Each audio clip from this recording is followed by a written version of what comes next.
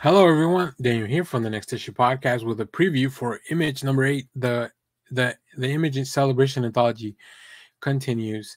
Uh, so our All Star Celebration Image's 30th anniversary rolls around with an all new Casanova story by Matt Fraction and Gabriel Ba and Fabio Moon, uh, plus World Tree by James Tynion and Fernando Blanco and Jack Staff by Paul Grist.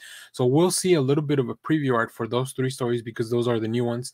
Uh, but we also continue along with some of the ongoing. So let's take a look at that. Um, let's take a look at that stuff. Let's take a look at this really rad cover, uh, just super bloody as hell. I love it. Uh, so we have the Blizzard continues with part eight of twelve by Geoff Johns, Andrea Mutti, and Rob Leigh.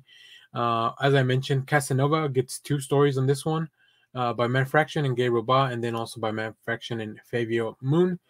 Uh, World Tree, which is a new thing that they're teasing out with James Tynion and Fernando Blanco.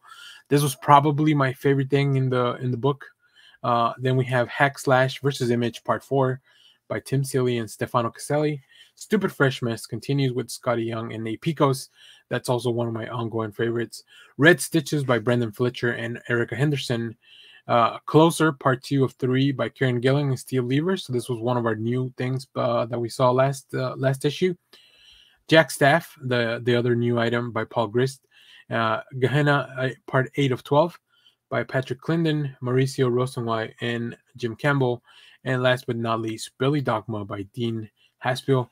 Uh, really cool cover by Andrea Mutti. Uh, yeah, I I think I've mentioned this before, but I am loving this anthology. I think this is one of the coolest things to happen in comics in a long time. Uh, not only are you getting all these creators to tell new stories, uh, bring back image classics, uh, or maybe some of their own creator-owned classics, uh, but just the fact that you're getting all these things like this is so much fun like really cool covers really fun way to put this together. I, am really really enjoying this. Um, so let's take a look at some preview art here. Uh, so this is from the casanova pages. Uh, and you know if you read casanova in the past you know like you you have to be hype about this one. I think there was a delay i believe because this was uh, announced on the one of these stories was announced on the previous issue of uh, of the anthology uh, so we'll see about that. Uh, here's a little preview of the World Tree story by James Tynion, uh, which looks really interesting. Just uh, I love the art. It looks very. I love the panel in the middle. Just kind of how out of left context, like it just looks really sick. Um, and then of course we have this new Jack Staff, uh, written and drawn by Paul Grist. Jack Staff, Britain's greatest hero.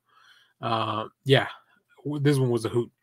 Um, so I love this anthology. I think everyone should be picking these issues up because I I don't know when we'll see something like this being done in comics once again.